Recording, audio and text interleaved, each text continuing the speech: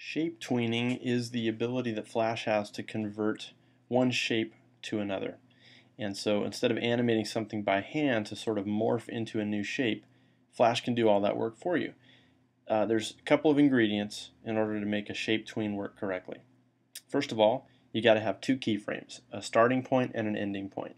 Secondly, on both keyframes there have to be shapes. On the first keyframe is the shape you're starting with, and on the last keyframe is the shape you're ending with. And when I say shape, I mean Flash's definition of a shape, uh, not a grouped object, not a symbol, just a, uh, a shape.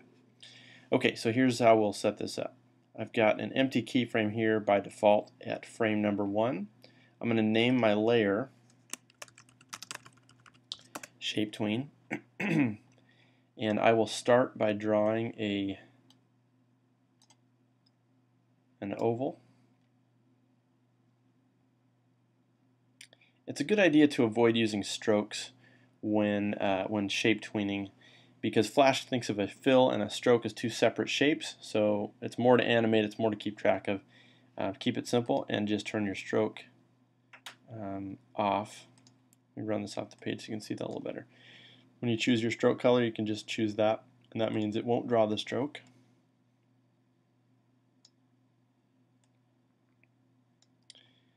Okay, uh, so I'll draw my oval over here on the left side of the stage. If you hold down the shift key while you draw it, it forces you to draw a perfect circle. And there it is. I'll go out to frame 24 and I'll hit F6 to create a new keyframe. And what I want to point out here is that right now frame 1 and frame 24 are exactly the same. Both of these frames have a red ball on the left side of the stage. And that's important because I can go to this keyframe and I can delete the ball. That's okay, it's still on frame 1. In fact, since that's the first keyframe and there's no other keyframes all the way out through frame 23, the red ball stays put right there the whole time. The only place the computer is getting new instructions is on keyframes. So if that's the only keyframe, that's what you get. On frame 24 we have a new keyframe and now we can draw a different shape. So I'm going to draw a, uh, a rectangle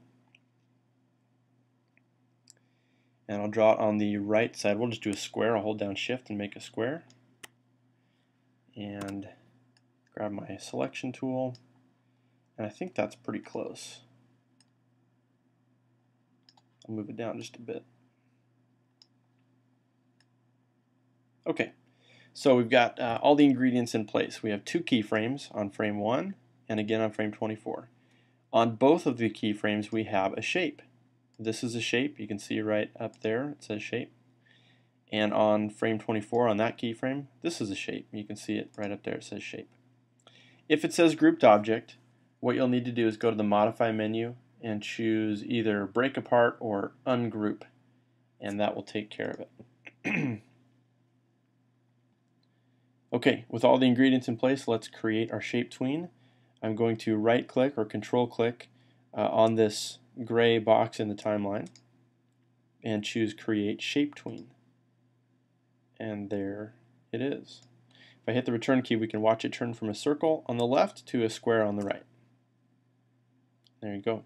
If I hit Apple return get our SWF file up here and we can watch it in a loop and you can see that it's turning into a square from a circle.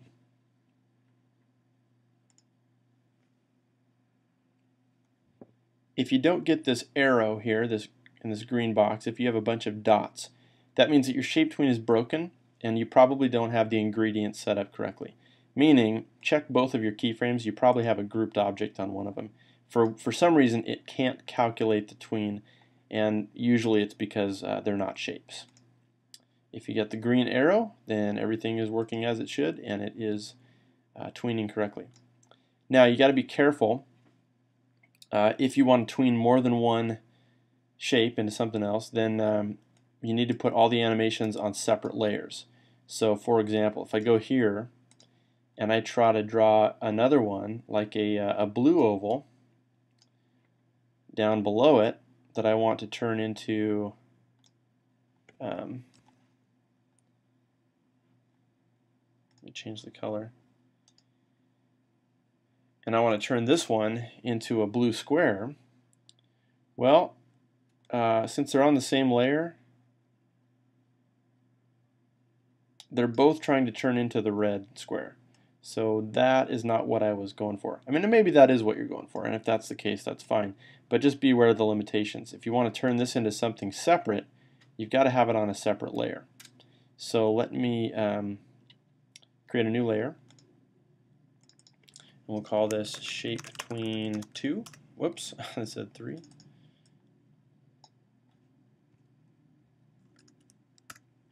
And uh, what I'll do is I'll click on this keyframe. Notice when I click on this keyframe on the shape tween, on the first shape tween layer, both of these light up. Uh, that means those are both on the same layer. So I'm going to deselect that. I'm just going to select the circle.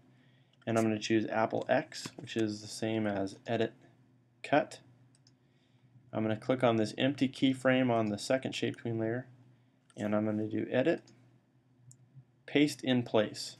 And that puts it right back in the same spot, just on a different layer. And now only the red square is tweening.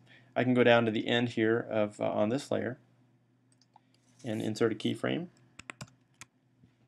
And on this keyframe, since this one is now the same as that first one, I can delete the blue circle and create a blue rectangle.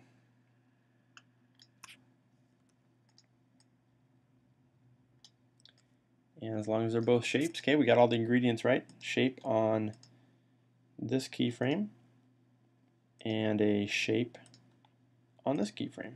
We can now right click or control click here and choose create shape tween and there it is.